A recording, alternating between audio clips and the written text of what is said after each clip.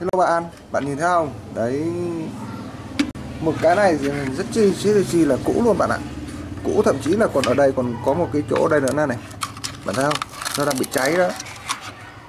Và đây cái này rất chi là siêu bản luôn. Mình sẽ cố gắng tháo ra một cách uh, có thể là nhanh nhất trong các loại luôn đấy nha.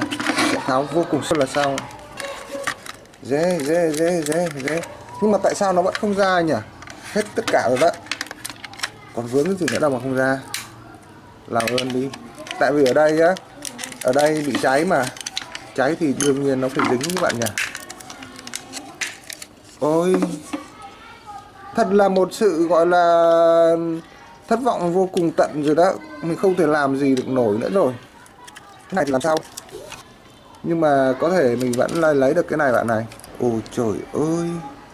Sao nó lại tệ như thế này ta? Cái bộ bộ đây nắn cầu này là chính xác nguồn mình sẽ câu lại cho nó đỡ bị bị dụng đất đất. Dây của nó rất là mong manh. Đấy, mình câu vào đấy một dây nha. Đây một cái chỗ này cái ô riêng lẻ này. Chả dính gì với ai hết. Thì bạn sẽ câu một đầu điện nữa vào đây này. Bây giờ mình đã hàn được hai cái dây ra là vì bây giờ nó đen xì thế này.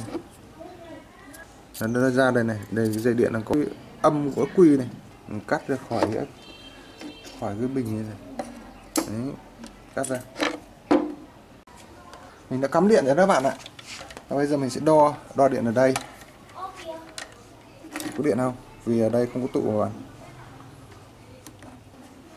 Không có điện hay không? Cắm. Bạn chờ mình tí nhé. Rồi bây giờ mình vừa mới kiếm được một con tụ.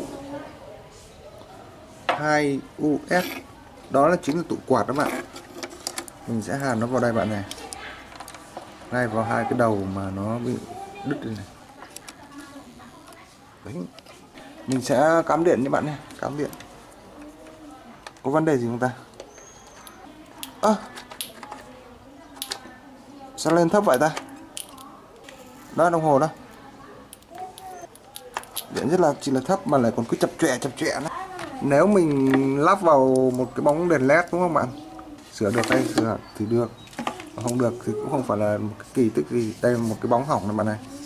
Và giả sử như bây giờ mình lại sẽ lấy một cái bóng hỏng khác. Nó khủng hơn này. Đây đây chính là cái ở trong bóng đèn led mình tháo này nha. Cái này ngắn quá bạn ạ. Cái này ngắn quá. Nên mình sẽ cắt cái này đi. Bởi vì cái này cái này, từ đây là chạy đến đây cũng là một luôn mình sẽ đấu con này. Rồi bây giờ mình sáng được hay không? Không sáng đây chuyển phương án 2 nhé bạn. Không sáng bạn nó có, nó kêu chụp chuyện nhưng mà nó không sáng. Lâu bạn, mình vừa mới kéo được. Đây này, hai cái này nó cũng nằm ở trong cái đèn pin đấy bạn ạ. Đèn pin này quạt đấy. Nhưng mà led ở đây ờ, chỉ 4V thôi. Bây giờ mình sẽ cắt cái này ra, dính với nhau. Mình cắt nó ra. Rồi, bây giờ mình sẽ đấu. Mình sẽ chuyển sang phương án là dùng vượt mũi bạn ạ bởi vì à, cái mạch kia nó cháy chưa chết rồi. Và khi tháo một mũi ra bạn sẽ có một cái mạch như thế này ở trong một mũi trong một mũi bạn tháo ra rồi bạn sẽ cắt lên đây. Đây này, đây là hai cái đường chạy ra chạy ra pin nhé. Thì bạn để cho nó thành cái đầu ra. Thì nó sẽ là như thế này. Bạn hiểu không? Nó như thế này. Tiếp theo mình sẽ lấy một con tụ à, lúc nãy nhá tụ quạt. Và mình sẽ đấu hai đầu vào đây. Đây mình sẽ là làm một phát siêu đẳng đẳng cấp liều luôn nhá. Một phát đây mà mình không tháo con tụ này ra nữa. Mình muốn nó thật là siêu khỏe vào. Đấy. Đấy chưa? Đây này. Đấy gọi là siêu đẳng cấp và không còn không ấy nữa nha rồi cái bóng này chỉ còn là bóng 5V thôi mà đứt cái dây rồi bây giờ mình sẽ hàn nó vào đây này. Hàn cái đầu nó vào đây. Sau đó mình sẽ đảo sau. Và đây là sợi, nó là hai sợi. Rồi, ok. Có thể là nó sơi luôn cả cái bóng nó sơi luôn cả cái bóng bóng led các bạn ạ. Bởi vì đây này, đây thành gần 3 UF 3 microfarad bạn nhìn như thế này dễ hiểu này đây là chính cái dây điện vào của vật mũi vẫn đang giữ nguyên nhá, không thay đổi. Còn đây là hai cái đầu chạy ra pin này. Thêm con tụ quạt vào đây là xong. Bây giờ bạn kiếm cho mình hai con điện trở một một k hai con nối lại nhé hai con nối song song. Rồi, bây giờ mình sẽ đấu vào đầu này. đầu điện ra của xương. Bạn hiểu chưa? Bây giờ mình sẽ đấu tạm nó vào đây xem có sáng hay không? Đầu còn lại đấu vào đây? Đấy, để xem có sáng hay không nữa chứ mới là vấn đề, đúng không? Đâu phải dễ đâu. Rồi, bây giờ sẽ là công việc tiến hành cắm điện.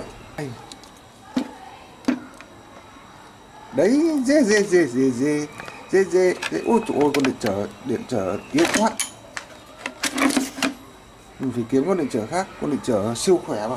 Đây, mình kiếm được hai con điện trở này tương đối là khá là to luôn, hơi to một chút. Nhưng mà chưa chưa phải là to lắm đâu bạn ạ. Sau đó mình sẽ đấu vào đây nha. Hai con nối lại là được 520 ôm luôn. Đúng chuẩn luôn. Ra là cần nối như này. Và nó sẽ sáng thôi, chắc là không vấn đề gì. Đúng giật đấy nhá C một ánh sáng thật là siêu xanh. Ánh sáng siêu xanh luôn đó bạn ạ. Bạn nhìn không? Ánh sáng siêu xanh led luôn. Thấy chưa? Và điện trở thì vẫn không sao. Bởi vì con này đã đủ khỏe rồi đó bạn. Bạn phải dùng con điện trở khỏe hơn nữa đi. Thì nó sẽ không nóng. Ok?